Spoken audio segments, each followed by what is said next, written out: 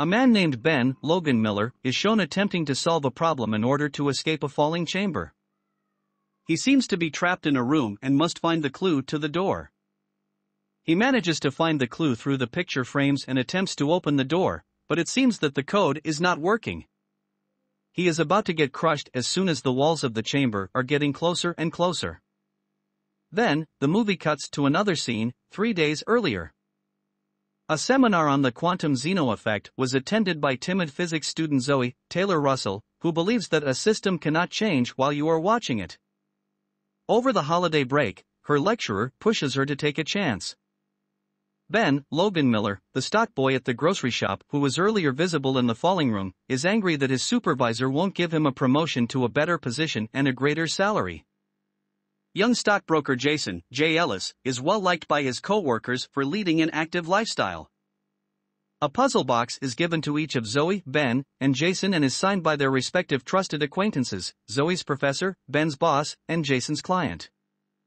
After completing the game, a hint directs them to the Minos escape room where, should they manage to escape, they could win $10,000. Zoe, Ben, and Jason are waiting with Amanda, Deborah Ann Woll, a war veteran, Mike, Tyler Labine, a former miner, and Danny, Nik Dodani, a fan of escape rooms. The door handle breaks off when Ben tries to leave the room to smoke, shutting the interior and exposing an oven temperature gauge. When Mike discovers a copy of Fahrenheit 451, Zoe raises the thermostat to that number. All but Danny, who doesn't think the heat is real, get terrified when embedded heat panels gradually turn on and raise the temperature of the room. Amanda is visibly uneasy, so Zoe attempts to soothe her by giving her a drink from the water cooler. The group notices an escape vent to the next room opens when they all simultaneously push down on six coasters after Zoe notices a sign asking for coasters to be used for beverages. Jason leaves the room first, followed by Mike and Amanda, while Zoe discovers that adding water to a glass will keep a coaster in place long enough for her to go. When there is no longer enough water because Amanda drank a glass earlier, Ben and Danny scramble to cover all coasters with glasses. Ben pours the contents of his flask into the last glass, and the two flee just in time as the room catches fire. The gang, with the exception of Danny, becomes worried about how realistic the game is becoming at a mountain cabin. Each room's cameras are inactive while the group requests assistance. Jason searches for a seven letter name associated with You'll Go Down in History to open the cabin door. Prior to a head on collision, Ben experiences a flashback in which he was singing Rudolph the Red Nosed Reindeer while driving with pals. Ben gives the group the code Rudolph, and when the cabin doors and windows close, the group leaves and enters icy conditions on a frozen stream. Jason discovers a door that requires a key while the others discover a compass, fishing rod, magnet, and ice fishing hole while exploring their surroundings. When the group finds a red parka that they alternately wear to remain warm, Jason becomes worried. The group successfully removes an ice cube encased key. Danny tries to use Ben's lighter to melt the ice cube, but he loses it in the ice and drowns. The gang is devastated by Danny's passing and concerned by how planned his demise was, noticing that he slid into the ice when he reached for the lighter. Jason persuades the others to form a huddle and use their combined body heat to melt the ice out of fear of hypothermia. Jason is able to crank the lock after they find the key, but the door does not open. Just as the last of the remaining ice gives way beneath them, the group flees across the stream through a brand new door that suddenly opens. A bar with pool tables is located in the third space. The moment the group walks in, they notice that the atmosphere in the room has changed. When they see a door without a doorknob, Mike assumes it must be that door because the 8 ball missing from the pool table is the doorknob that is stashed somewhere within the bar. The group is warned to be cautious when a telephone cord falls from the ceiling. A loud dial up sound is followed by the start of music. A section of the floor disappears with each repetition of the sequence. Behind the bar, Amanda scales the wall and discovers a safe that requires a four digit code. In a sliding tile puzzle that Zoe solves, the group discovers the numbers they require, but they are unable to access the safe.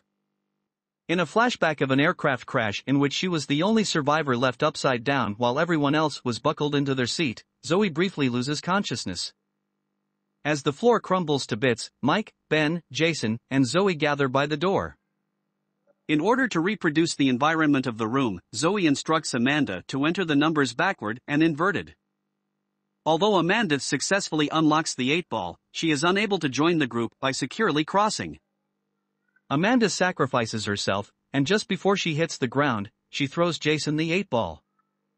The group enters a hospital ward with beds that are exact replicas of those that each of the game's players were treated in after being declared the only survivors, Mike was the only miner pulled alive after a cave-in, Zoe survived a plane crash, all of Ben's friends were killed after he drove drunk, and only Jason was found by the Coast Guard after he and his college roommate's boat overturned in icy waters.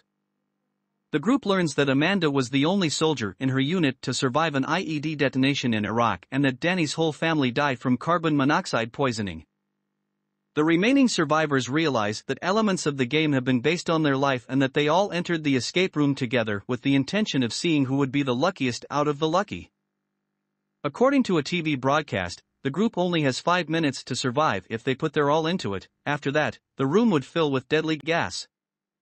To determine the ideal heart rate that will guide them to the following room, Jason, Ben, and Mike locate an EKG machine. In an effort to outsmart the game designers, Zoe uses the quantum Zeno effect to her advantage and turns off all of the cameras in the area in the hopes of escaping. Jason accidentally murders Mike by zapping him multiple times with a defibrillator because he thinks a rapid heart rate will rescue the group. When the room starts to fill with dangerous gas, Jason straps himself to the EKG and allows the toxin to cause his heart rate to drop to under 50 BPM. Jason and Ben are able to escape when the door to the next room opens, but Zoe declines to do so because she allegedly collapsed and died after turning off the last camera. Ben and Jason walk inside the fifth room, which has optical illusions painted on the walls and furnishings. Ben believes Jason was not the only survivor out of choice and is outraged by how callously Jason killed Mike and neglected to aid Zoe.